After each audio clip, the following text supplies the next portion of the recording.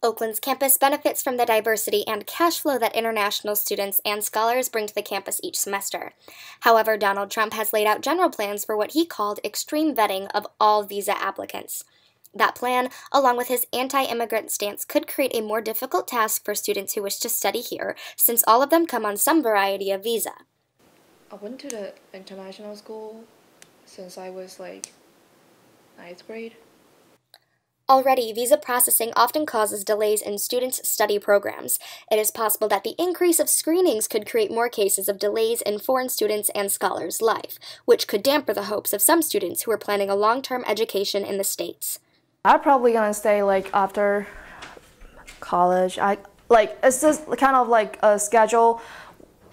My parents decide even before my I was five five years old. In addition to students who have their futures planned, Oakland wants to continue the exponential increase they've had over the past years into 2017. Ashley, I've written a recruiting plan which is being looked at right now.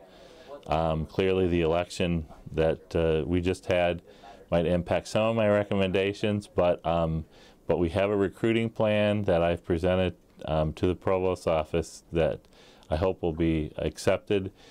David's plan may be rewritten if a visa law hinders students from studying here.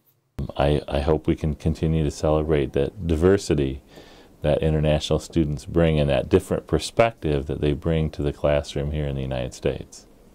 International students are a key component to diversity on Oakland University's campus. From the Office of International Students and Scholars, this is Samantha Polonis reporting.